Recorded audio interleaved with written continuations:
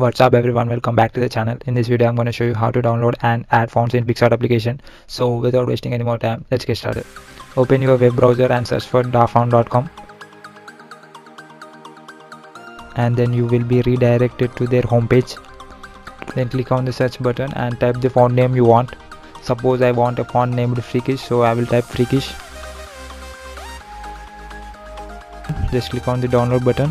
After downloading click on open open it in zarchiver hold and copy the tff file.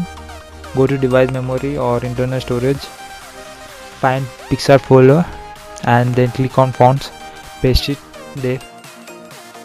And after that you need to open PicsArt application. Go to text and type the name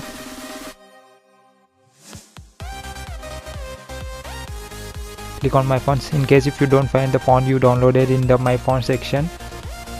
Click on add fonts go to files internal storage and search for PicsArt and then fonts and just click on your font and your font will be added. So that's it guys. It's as simple as that. Thank you so much for watching. I hope you guys enjoyed this tutorial. See you in the next video. Bye